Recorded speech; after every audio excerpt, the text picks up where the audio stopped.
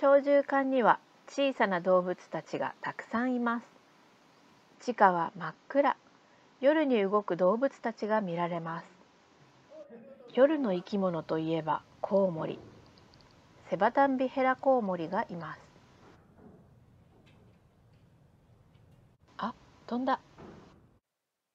バナナを食べています。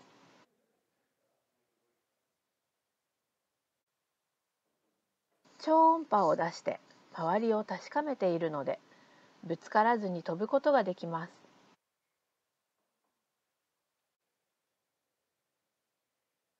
餌に飛びつくのも上手です。こちらも食事中ですね。ツチブタという動物です。豚の仲間ではありません。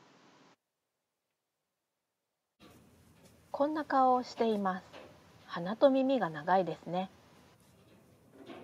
あ、何かじっと聞いていますよ。音で周りの様子を確かめるんです。匂いを嗅ぐのも得意です。こちらはムツオビアルマジロ鼻が長くて匂いを嗅ぐのが得意です。匂いで餌を探します。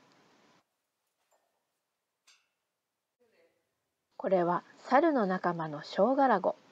大きな目で夜でもよく見えます。もっと目が大きな猿スラウェシメガネザルも小獣館の地下で見ることができます。日本モモンガも目が大きいですね。暗くても目で確かめて離れた木へ飛び移ります。暗いところで動くために得意なことは動物によって違います。他にもいろいろな動物がいますよ。